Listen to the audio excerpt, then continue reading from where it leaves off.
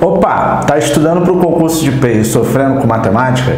Então vem comigo que esse vídeo é para você. Eu sou o professor Renato Oliveira e nesse vídeo você vai aprender matemática para o concurso de PEI da SME do Rio de Janeiro, que é a Secretaria Municipal de Educação. Mas antes da gente começar, inscreva-se no nosso canal e ative as notificações, porque todo dia tem vídeo novo aqui no canal e você vai vir aqui nos assistir. E também baixe o material da aula, que assim você entra para nossa lista VIP e recebe conteúdos exclusivos que só quem está na lista VIP tem acesso, tá bom? Então, vamos lá começar, galera. Começando aqui, a nossa questãozinha, a nossa primeira questão aqui, deixa eu está tudo ok, está tudo ok.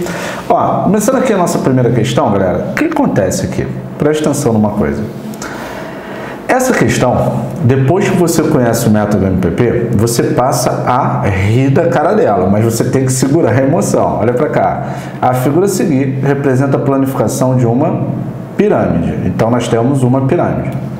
Esse sólido possui a seguinte quantidade de arestas. Aí ele quer a, a, quantidade de arestas que esse sólido tem. Aí você, meu Deus, Renato, como é que eu vou fazer isso? Simples. Galera, existe uma coisa que nós chamamos no método MPP, que é o macete das pirâmides, ok? Deixa eu escrever aqui, macete das pirâmides. Como é que é o macete das pirâmides, galera? Quem conhece, já bota aí nos comentários. Galera que conhece, já está em dia, bota aí nos comentários. Então, como é que é? É vamos fazer amor, né? A nossa brincadeirinha é essa aqui, ó, lados, lados e lados. Tudo bem? Lados, lados e lados. Show de bola? Então, o macetinho da pirâmide é assim. Você sempre vai começar desse jeito. Aí deixa eu botar aqui que aqui é mais um, mais um vezes dois, ok? Então vamos lá. Macete das pirâmides. Como é que vocês vão fazer o macete das pirâmides? Gente, vocês vão fazer assim, ó. Vamos fazer amor de lado. Você vai repetir. Vamos fazer amor de lado. Por que o vamos fazer amor de lado? Porque, galera, presta atenção. O V é vértice, o F é face, o A é aresta e o lados é o número de lados da base da pirâmide, tá legal? E aí fica muito simples para você resolver, tá? Se pedir, preste atenção, deixa eu mudar aqui. Se pedir o número de vértices é igual ao número de lados mais um.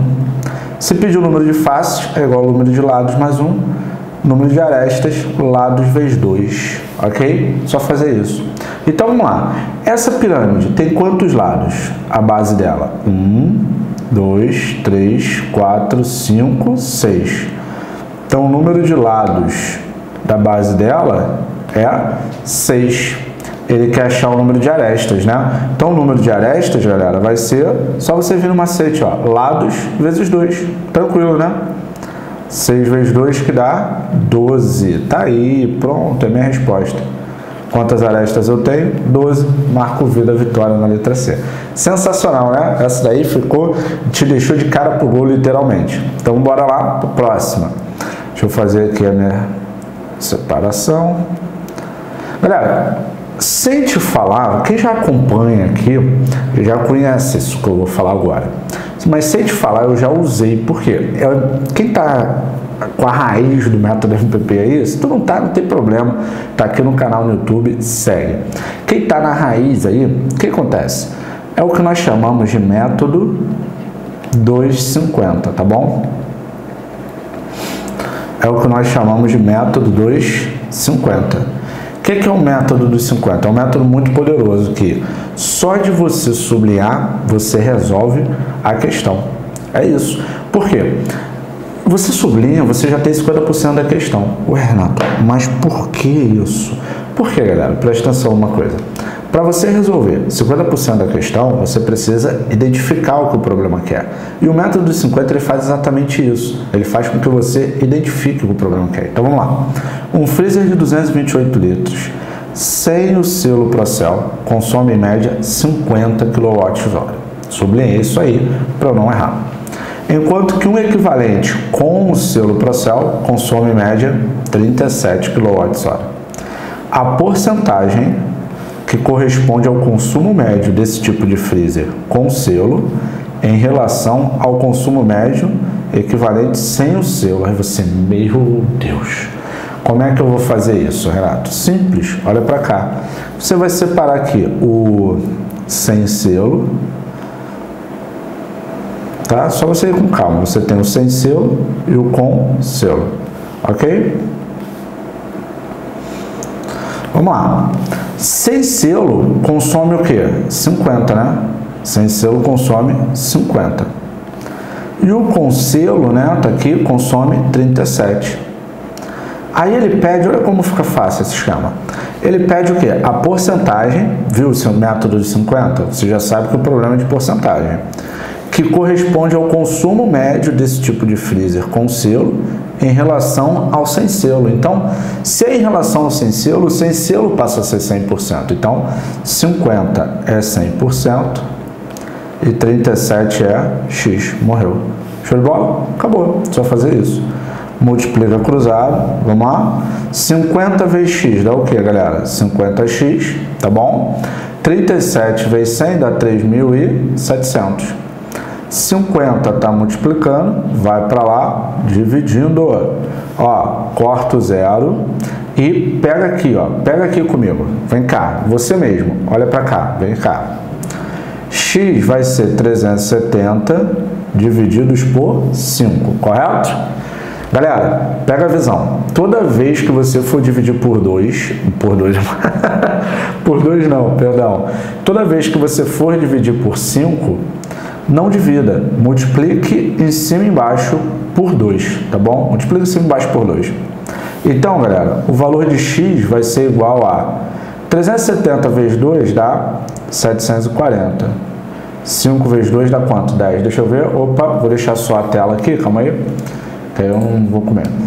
É, 740, de novo aqui, ó. 370 vezes 2 dá 740. 5 vezes 2 dá 10. Corto zero, então o valor de x é 74%. Tá aí, esse é o valor de x, 74%. Show de bola? Qual é o meu gabarito? Letra D. Marca aí o V da vitória. Show, né? Bem legal essa daí. Ficou bem legal mesmo essa daí para você narrar. Então bora lá para a próxima tá? Vem comigo aqui, fazer essa. Um agente da Secretaria Municipal de Saúde deve distribuir 185 litros de um inseticida em galões iguais de 7 litros cada um. O número mínimo de galões necessários para o funcionário realizar esse serviço é igual a. Então vamos lá. Simples essa questão, né? eu tenho que pegar 158 e dividir por 7. Por que pegar 158 e dividir por 7? Porque eu quero saber o número mínimo para realizar o trabalho. Lembrando que o trabalho dele tem que botar em galões iguais a 7. Então vamos lá. Aqui, ó, vai dar 2. 2 vezes 7 é 14. Para 15 sobra 1. 18 vai dar 2 e vai restar 4. E aí, muito cuidado. Muita gente, com certeza, vai marcar a letra D, mas isso está errado. Vou até voltar aqui para falar com vocês. Isso está errado. Por que isso está errado, galera? Porque você vai precisar de 22, calma aí, litros não, né? Você vai precisar de 22 galões cheios mais um galão com 4 litros. Por quê? Tu não vai jogar fora, correto? Ele tem que fazer o trabalho dele. Então o cara precisa de 22 galões cheios, toma cuidado que o inimigo tá doido para agir aí, hein? O cara precisa, na real, de 22 galões cheios, mais um galão com 4 litros. Então, na real, ele precisa de 23 galões para fazer o serviço dele, tá bom? Então, qual é o meu gabarito? Correto? Letra C. Muito cuidado. Não vai deixar o inimigo agir aí, tá legal? Por quê? Não é, são 22, pelo amor de Deus. São apenas são 23. Apenas não, são 23, tá bom? 23 galões, letra C. Maravilha? Vamos para a próxima. Próxima questão. Opa, saiu errado isso daí, deixa eu deletar. Próxima questão, na real, é essa aqui. Essa daí já foi, né? Pelo amor de Deus. Vamos lá.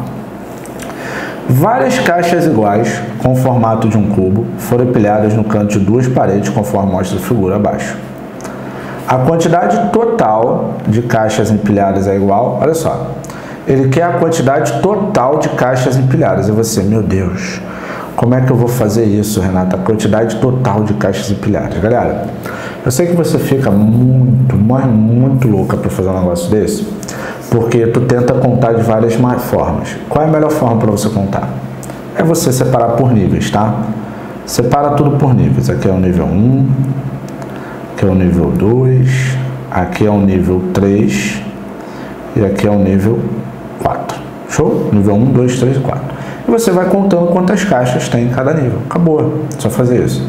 Tá bom? Só fazer isso. Quantas caixas tem em cada nível. Vamos lá? Vou botar aqui, ó, nível 1, nível 2, nível 3 e nível 4, para você ver quantas que tem, tá bom?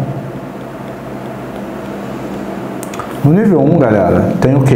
Tem uma caixa só. Deixa eu ir pintando, que é melhor. No nível 1 tem uma caixa só. Então, eu vou botar aqui 1, ok? Só tem uma caixa, dá pra gente ver tranquilamente isso, tá bom? Sem problema? No nível 2, galera, eu tenho duas caixas, ó. Uma, duas. No nível 3, quantas caixas eu tenho? Eu tenho três caixas, que eu tenho duas que eu tô vendo e uma lá embaixo. Presta atenção. Tá vendo aqui? Vou até botar a tela toda aqui pra gente ver. Deixa eu botar a tela toda aqui. Calma aí, botar a tela toda. Pronto. Tá vendo essa caneta aqui? Essa caneta? Por que essa caneta não cai? Porque minha mão está apoiando. Correto ou não? A caneta não cai porque minha mão está apoiando. Agora, se você tirar aqui, eu não vou jogar porque senão vai cair, né? Você sabe que vai cair, concorda? Então, essa caixa aí, galera, deixa eu voltar aqui, vou voltar aqui. Então, galera, o que acontece? Essa caixa aqui, só tá, essa primeira caixa aqui de cima, ó, deixa eu botar aqui amarela, essa primeira caixa aqui de cima, ela só tá ali em cima porque tem outras embaixo apoiando. Porque senão, galera, ela não estaria ali, ela ia cair igual a caneta, correto? Então, aqui no nível 3 eu tenho três, três caixas, tudo bem? Tudo bem? Tem? Tranquilo? São três caixas ali. E no nível 4 eu tenho, olha para cá, no nível 4 eu tenho, vem comigo. Uma, duas, três que eu estou vendo e duas lá atrás, que dão apoio para essas duas colunas aqui, para essa e para essa. Então, no nível 4, na real, eu tenho 5, tá bom? São três que eu vejo e duas que estão dando o quê? Apoio. Na real, não. Isso aí, show de bola, ó. Uma, duas, três, quatro, cinco, seis na real. Olha aí o inimigo querendo agir. Na real são seis, né? Porque você tem mais essa caixa aqui. Não, são cinco mesmo. Cinco. Três que eu vejo e duas lá atrás, tá? Cinco mesmo. Tudo bem? São cinco. Agora, o total, galera, o total vai ser um mais dois mais três mais cinco. Esse é o total, tá? Não está aí na frente? Não, não está na frente não. Um mais dois mais três mais cinco, que dão onze. Então, Quantas caixas eu tenho? 11 letra A. Tudo bem? Separa por níveis e olha com atenção, tá? Ó, aqui você tem 2, 3, mais 2 lá atrás, né? Porque são 4 do lado de cá e uma para cá, tá bom? Total de 11. Show de bola? Faça isso e não erre mais esse tipo de questão, porque muita gente erra esse tipo de questão assim, de bobeira mesmo, de bobeira que erra, tá? Não erre mais. Show? E se você aprendeu com essas questões aqui, matemática para PEI, veja o caso de sucesso da aluna Juliana aqui, ó. Renato, boa tarde. Gostaria de agradecer por toda a dedicação em suas aulas. Você fez a diferença em minha vida.